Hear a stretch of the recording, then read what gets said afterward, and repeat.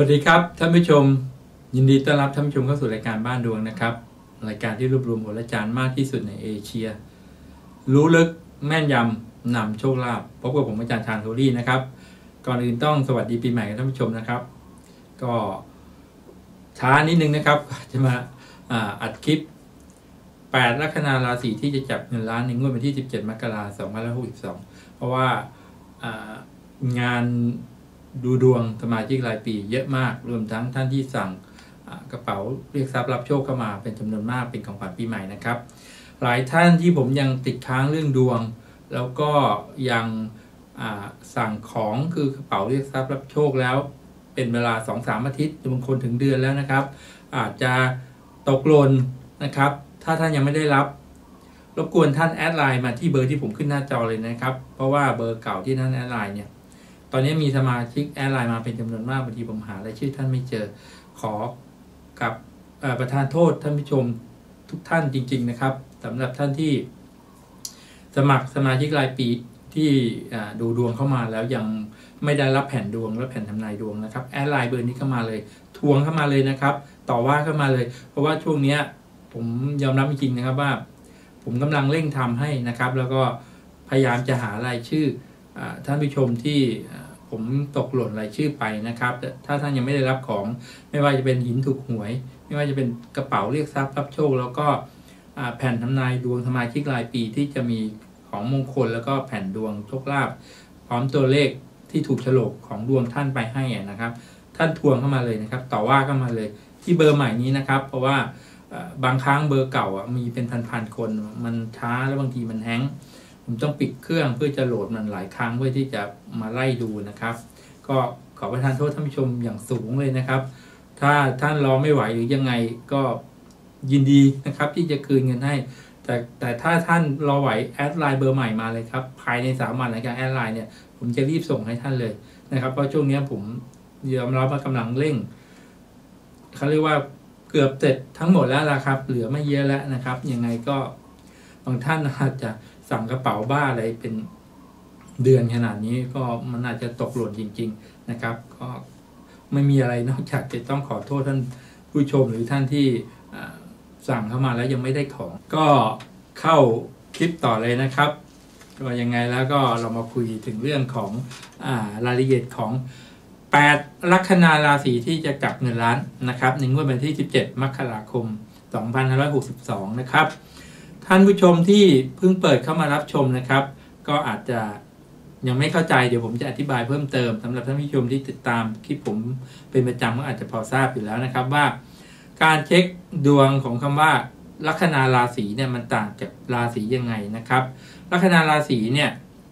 ก็คือเราจะเอาวันเดือนอ่าวันเดือนปีเกิด เวลาเกิดจังหวัดเกิด เป็นเวลาตกฟากนะครับ เพราะว่าแต่ละคนเนี่ยเวลาเราเกิดมาเนี่ยอ่ามันต่างกันที่ณเวลาเกิด นะครับ เวลาเกิดจะเป็นตัวกำหนด DNA หรือพันธุกรรมดวงของเรานะครับ หลายท่านที่อ่าเป็นฝาแฝดกันเนี่ยเวลาเหลื่อมเหลื่อมกันเป็นวินาทีหรือนาทีก็แล้วแต่เนี่ยแต่ถ้าที่สถิติของดวงเนี่ยพี่น้องฝาแฝด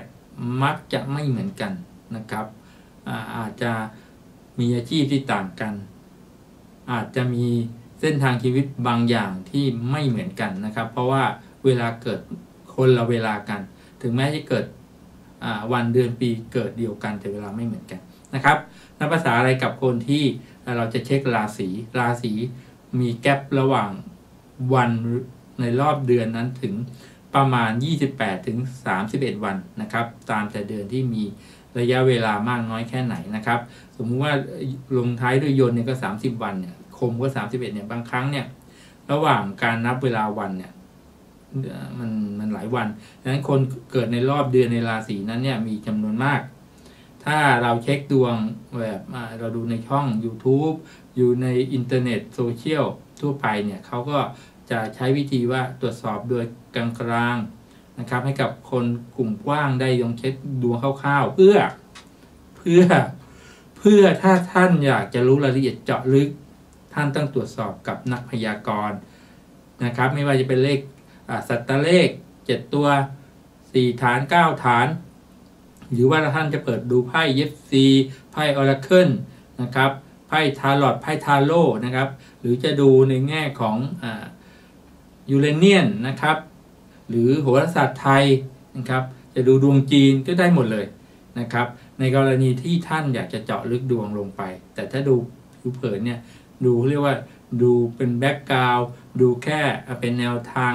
คร่าวๆท่านเองหลายท่าน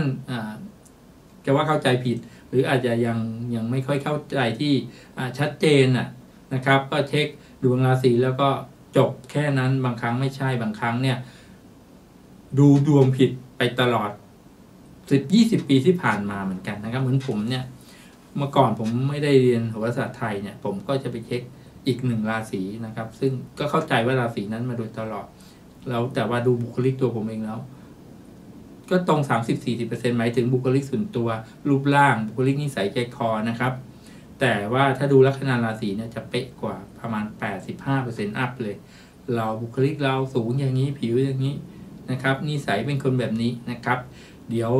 คลิปต่อไปนะครับ ผมก็จะคุยถึงในเรื่องของอ การทำงานในเรื่องของการที่ผมจะในปี2562เนี่ยผมจะจัดงานเกี่ยวกับองค์พระราหูองค์พระราหู เพราะว่าพระราหูเนี่ย วันที่ 22กุมภาย้ายเข้าสู่ราศีเมถุนนะครับ ซึ่งผมลัคนาราศีมิถุนเนี่ยทับลัคนาผมพอดีเลยนะครับ มันต้องมีการแจกแจงเรื่องยาวเลยเพราะมีหลายคนถามว่าอาจารย์เคยเช็คดวงตัวเองหรือเปล่า เดี๋ยวเราจะมาผ่าดวงของคนเกิด ราศีมิถุนกันโดยเฉพาะบังเอิญเป็นดวงในลัคนาราศีผมด้วยนะครับ ก็แต่วันนี้ไม่ใช่นะครับ คลิปนี้จะเป็นเรื่องของแปรลัคนาราศีที่จะมีโชคจับเงินล้านนะครับ ในงวดวันที่ 17 มกราคม 2562 นะครับ จะไปเร็วนิดนึงนะครับ เริ่มจาก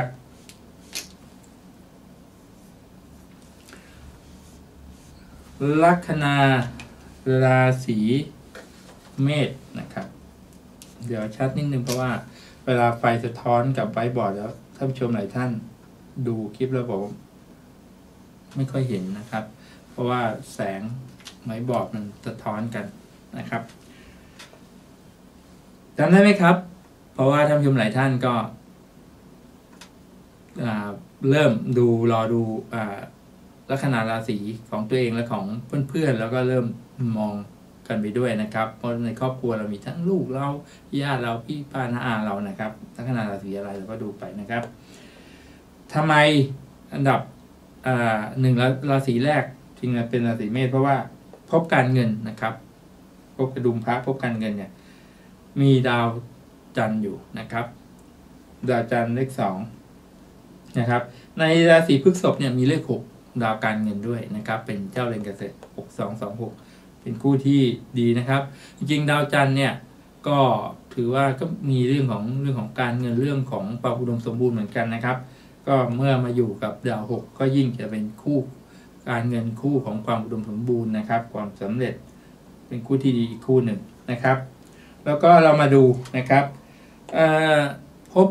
ราพะนะครับพบราพะตรงราศีกุมเนี่ยไม่มีดาวว่าไม่มีดาวจรเข้ามานะครับ นี่ดาวที่เดินมาที่ที่เห็นเนี่ยเขาเรียกดาวจร แต่ดาวเดิมเนี่ยเป็นเลขแปดพระราหูนะครับ ฉะนั้นเนี่ยวัประพะก็ยังมีพระราหูอยู่นะซ่อนอยู่ข้างในนะครับ ก็ถือว่าไม่เสียของนะครับ ก็ เดี๋ยวผมจะพูดในคลิปต่อๆไปว่า เลขแปดสำหรับผมคือเลขแห่งโชคลาภสามปี ผมได้โชคลาภอะไรบ้างจากองค์พระราหูนะครับสำหรับท่าน ก็ค่อยๆติดตามนะครับพบละลาภะไปแล้วต่อมาก็เป็นพบสุภะนะครับพบสุภะนี่คือพบกรรมะนะครับ ผมจะไม่ได้พูดถึงเรื่องอาชีพนะครับ การงานนะครับคืออาชีพ ความรักครอบครัว พบพันธุนะครับ พบเพื่อนฝูง พบสหัชชะ หรือว่าพบปัตตานิพบปุตตะอะไรพวกนี้ไม่ไม่ไม่พูดถึงเยอะนะครับ พวกคู่ครองเรื่องของโปรเจกต์การงานอะไรมันไม่ได้พูดถึงนะครับ ผมก็จะพูดถึงในเรื่องของพบการเงิน แล้วก็พบโชคลาภคือพบหลัพระแล้วก็แถมไม่หน่อยในพบสุภาเนี่ยก็มีเรื่องของความสำเร็จชื่อเสียง การต่างประเทศการเงินมันมันพบสุภาเนี่ยเป็นพบที่ดีพบหนึ่งนะครับ ก็จะมีอยู่ราศีธนูเนี่ยก็จะมีเลขเจ็ดดาวเสาร์เลขเก้าดาวเกตนะครับพบ เกษตรข้างในเป็นดาวพฤหัสบดีเลขห้าห้าเจ็ดเก้าดีนะครับพบสุภะนะครับ ฉะนั้นนี่คือที่มานะครับของลัคนาราศีเมษนะครับ ก็จะมีดาวจันทร์เลขสองอยู่ในพบการเงินเนี่ยจะมีเลขหกอยู่ด้วยนะครับ แล้วก็ในส่วนของพบราพะมีดาวพระราหูพบสุภะมีห้าเจ็ดเก้าเลยนะครับ เดี๋ยวผมดูชาร์ตนิดนึงว่าผมให้เลขอะไรไว้นะครับสำหรับราศีเมษ ผมให้สองสองหกมันออกไปแล้ว เอาเป็นสองแปดนี่แล้วกันนะครับ พบการเงินกับพบราพะพบราพะมีเลขแปดยังไงสองแปดแปดสองนะครับ ส่วนพบสุภะเจ็ดเก้าห้าเจ็ดเก้าเจ็ดห้าเจ็ดเก้านะครับ ให้สามคู่แล้วกันนะครับสองแปดแปดสองห้าเจ็ดเจ็ดห้าเจ็ดเก้าเก้าเจ็ดนะครับ ต่อมานะครับ ลัคนาราศีมิถุนนะครับ อยู่ตรงนี้ราศีมิถุนมันจะเห็นว่าโอเคเห็นเนาะลักนะฮะผมเราลิงอากาศเนี่ยลักลัคนานะครับ ก็มีพบการเงิน ยังมีพระราหูอยู่ยังไม่ได้ย้ายนะ ท่านจะย้ายวันที่ยี่สองกุมภา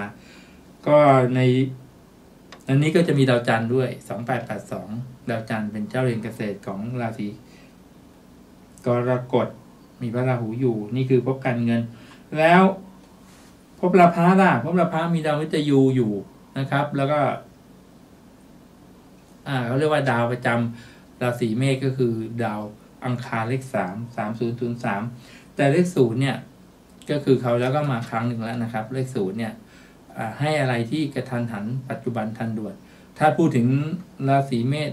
นะครับลัคนาราศีเมษเนี่ย หรือราศีเมษเนี่ย ในปี2562 เนี่ยเขาว่ากันว่าในเรื่องของการเมืองเนี่ยจะมีความเปลี่ยนแปลงที่เขาเรียกว่าแบบคาดไม่ถึง ผมเคยเป็นนักข่าวการเมือง ถ้าผมเป็นสมัยนู้นกับเป็นโหนสมัยเนี้ยผมว่าต่าง เพราะถ้าถ้าถ้าเราวิเคราะห์การเมืองไปเนี่ย ผมว่าหน้าแหกหน้าแตก เพราะเรามาดูพอเรามาศึกษาเรื่องโหงเนี่ย ผมมองว่าดาววิทยุเนี่ยจะทำให้เกิดการพลิกล็อก สิ่งที่เราคิดว่าน่าจะเป็นแบบนั้นแบบนี้มันไม่ได้เป็นแบบนั้นนะครับ สมมุติเรามองว่าคนคนนี้จะได้เป็นนายกอาจจะไม่ได้เป็นก็ได้เพราะดาววิทยุอยู่ในตำแหน่งนั้น แต่เราไม่ได้พูดในเรื่องของการเมืองการงานหรือเศรษฐกิจสังคมนะครับฉะนั้นถ้าพูดถึงเรื่องโชคลาภเนี่ย ชาวราศีมิถุนเนี่ยจะได้ลาบแบบ ไม่ทันตั้งตัวแบบฟุกๆแบบว่าเราอาจจะไม่คิดว่าเลขนี้จะได้อะเราอาจจะซื้อทิ้งๆ หรือว่า หลายครั้งหลายคนในไลน์บอกว่าโอ้ไปเน้นตัวอื่นซะเยอะเลยนะแต่เลขที่เราจับไปนิดๆหน่อยๆอะกลับมาอะไรอย่างเงี้ยนะครับ แล้วก็ ในภพสุภาก็ยังมีพระราหูอยู่นะครับฉะนั้นก็เลขนะครับ ที่ผมคิดว่าเลขจะให้คือในลัคนาราศีเมถุนก็คือสองแปดแปดสองซ้ำ ซ้ำได้นะครับ เผื่อออกสองแปดมา เดี๋ยวจะถูกสองลัคนาราศีแล้วนะครับสองแปดแปดสองอ่าแปดนี้กับแปดนี้แปดศูนย์นะแปดศูนย์ศูนย์แปดนะครับ ก็ได้สองชุดนะครับสองแปดแปดสองแปดศูนย์ศูนย์แปดนะครับ ต่อไปลัคนาราศีกรกฎนะครับ ตอนนี้พระราหูท่านยังอยู่นะครับ แล้วก็การเงินเนี่ยไม่มีดาวจรอยู่ก็จริงอะแต่พบเนี่ย นะครับพบราศีสิงห์เนี่ยมีเลขหนึ่งอยู่นะครับ เลขหนึ่งเลขหนึ่งตัวเนี้ย มาอยู่ในภพไหนต้องดูนะฮะเลขหนึ่งตรงเนี้ยเขาเรียกว่าเล็งกับลัคนานะครับเล็งกับลัคนาแล้วก็มีเลขสี่ด้วยคู่หนึ่งสี่นะครับ ก็เป็นคู่ที่มีพลังอีกคู่หนึ่งนะครับ เป็นเลขเป็นดาวที่มีความสำคัญนะครับฉะนั้นก็คืออทำให้ในส่วนของ เลขหนึ่งเนี่ยที่อยู่ในเรื่องของการเงินแล้วมาเล็งด้วยเนี่ย ฉะนั้นลัคนาราศีกรกฎเนี่ย ผมจะตั้งเลขหนึ่งไว้ก่อนเลขหนึ่งนะครับ ต่อมานะครับ เรามาดูพบราพะพบราพะก็มีเลขสองนะครับดาวจันทร์แล้วก็มีเลขหกอยู่ข้างในนะครับ ส่วนพบสุภาเนี่ยนะครับ ราศีมีนเนี่ยมีเลขห้าดาวพฤหัสบดีอยู่ นะครับ ก็เป็นเลขแห่งการเงินก็ก็ไม่ได้เสียของบางครั้งมีดาวใช่ว่าจะดีบางครั้งดาวดาวเรียกดาวบับประเคาะไปอยู่ในในเขาเรียกว่าในฐานที่ตั้งดวงที่ดีอยู่เนี่ยฐานดวงที่เป็นภพที่ดี แต่เจอดาวบับก็เข้าไปอยู่เนี่ยทำให้มันเกิดตำแหน่งเสียเกิดขึ้น ไม่มีดาวจรแต่ว่าดาวภายในของราศีมีนเนี่ยคือเลขห้านะครับ ดาวพฤหัสบดีนะครับ ฉะนั้นทำให้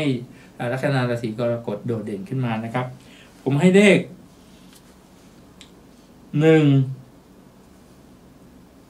พบลาภะเป็นเลขสองใช่ไหมครับพบการเงินกระดุมพระลาภะการเงินโชคลาภผมให้หนึ่งสองสองหนึ่งนะครับบังเอิญเป็นกำลังพระราหูพอดีนะครับพบสุภามีพบสุภาตรงนี้นะครับราศีมีนมีเลขห้าอยู่นะครับ ฉะนั้นให้ห้า ห้าหนึ่งหรือห้าสองดีห้าสองแล้วกัน ผมชอบห้าสองมากกว่า เพราะว่า ตอนนี้อายุ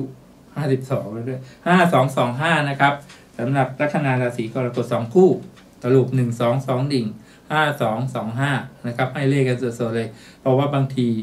มันมีหลายชุด เราเอาชุดที่เราชอบ แต่ที่ต้องพูดออกเสียงไม่ด้วยว่าหนึ่งก็สวยอยาเป็นหนึ่งห้าห้าหนึ่งเกิดถ้าไม่ชมชอบถ้าไม่ชมไม่อยากไม่ชอบสองห้าห้าหนึ่งแต่ชอบหนึ่งห้าหนึ่งก็ได้นะครับ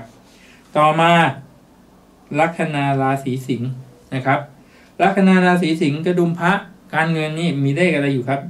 ตรงนี้ราศีกันเนี่ยมีดาวพุธเลขสี่อยู่นะครับ แล้วก็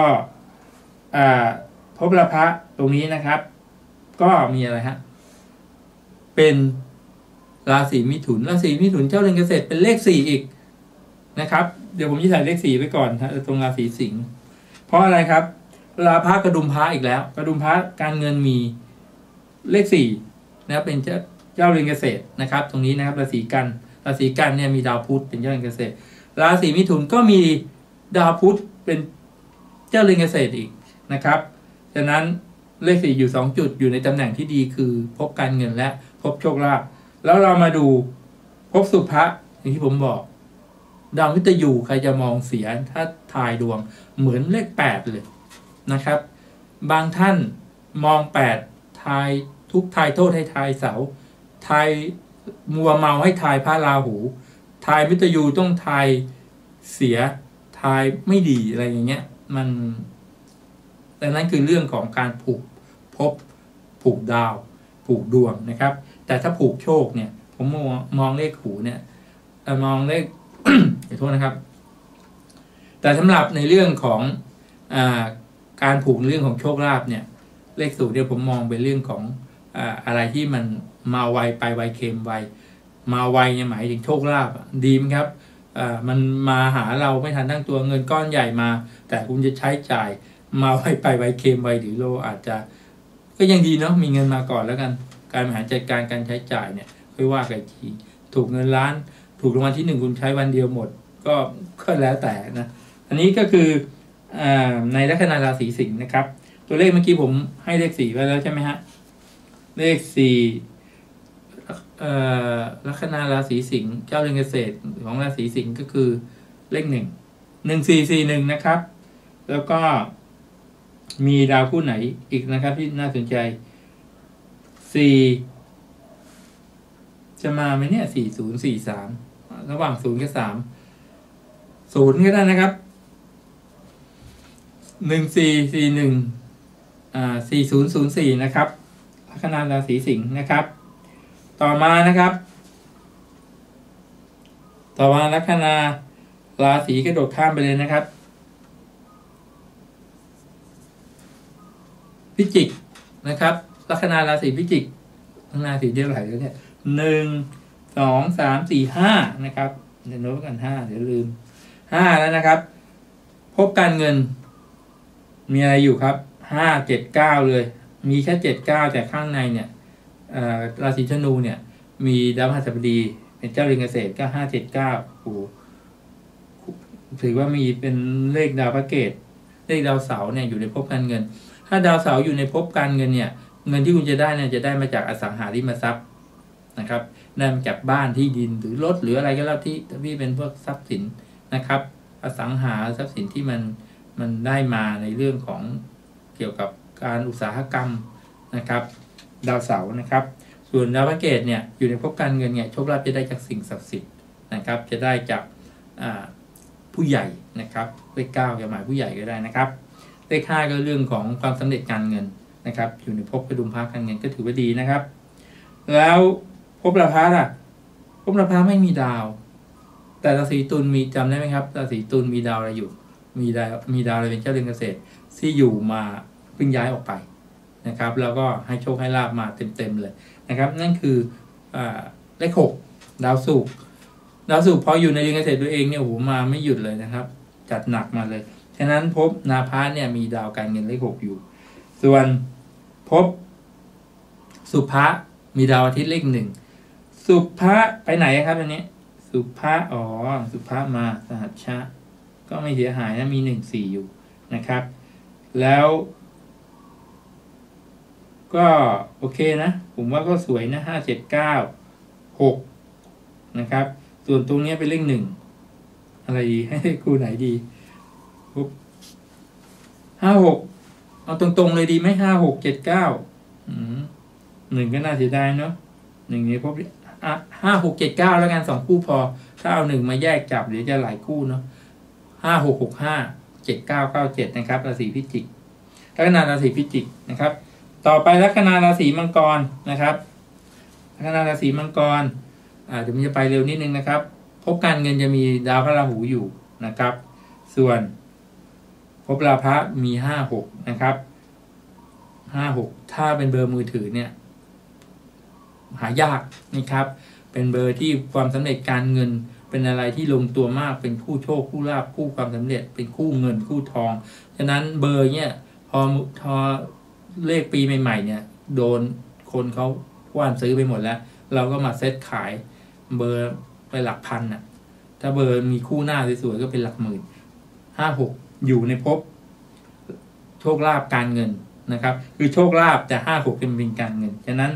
นี่คือที่มาของลัคนาราศีมังกรว่า คุณมีโอกาสจะจับเงินก้อนโตนะ เพราะคู่ห้าหกอยู่ในภพลาภะคือโชคลาภเนี่ย ก้อนโตจะเข้ามาหาคุณตัวในภพสุภาเนี่ยก็มีราศีกันมีเลขสี่นะครับ เลขสี่เนี่ยไปไหนอะเลขสี่ก็มานี่ไงอยู่ในตนุรักหมายถึงว่าอยู่ในช่องลัคนาของคุณเนี่ย ฉะนั้นก็คือเลขสี่ก็น่าสนใจนะ แล้วก็เดงกับแปดพระราหูอีก หูเรื่องไม่ถูกเลยคันนี้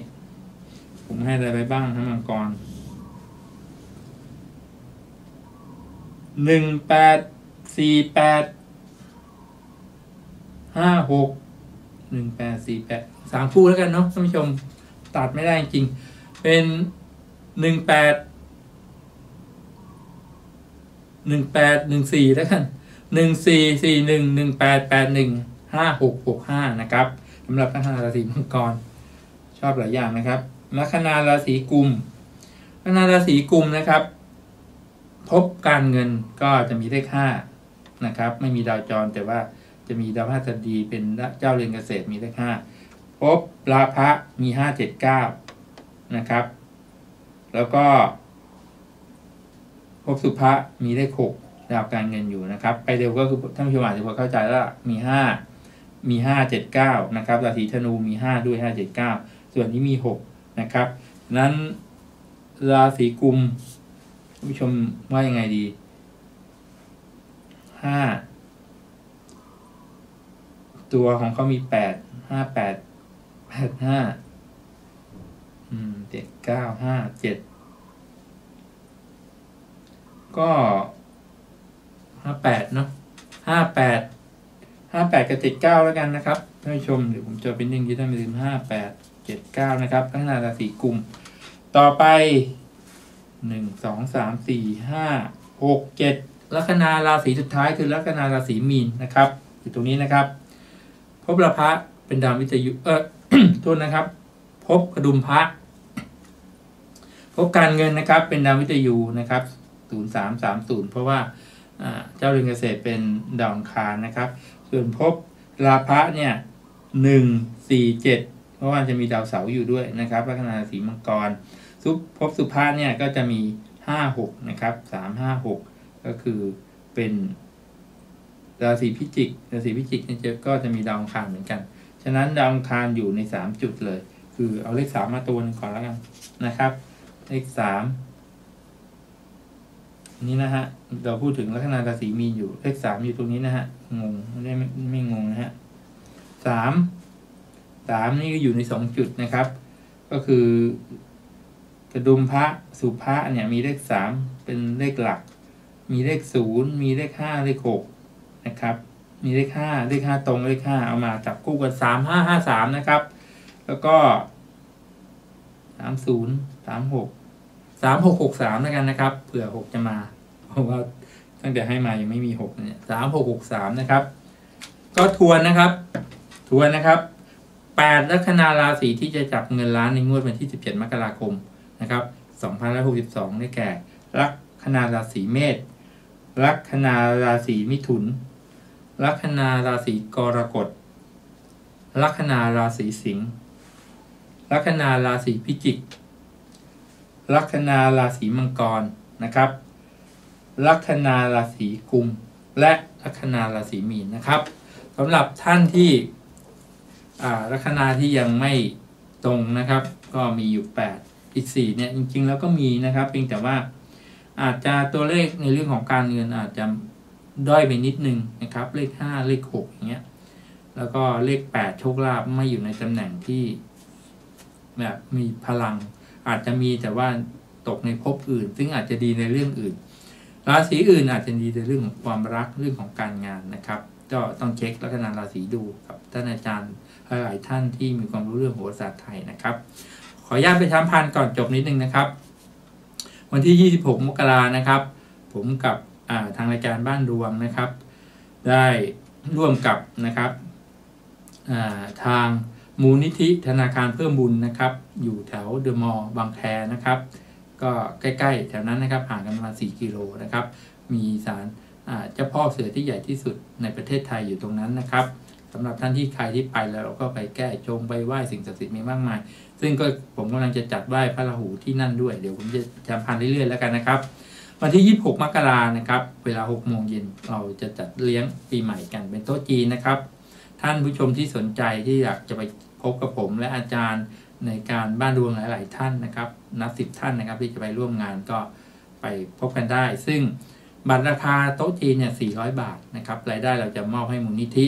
แต่ว่าอยากให้ท่านผู้ชมไปเยอะงั้นผมก็จะแถมการดูดวงแบบลัคนาราศีให้หนึ่งครั้งนะครับ โดยท่านส่งวันเดือนปีเกิดเวลาเกิดมา แล้วผมก็จะปิ้นนะครับ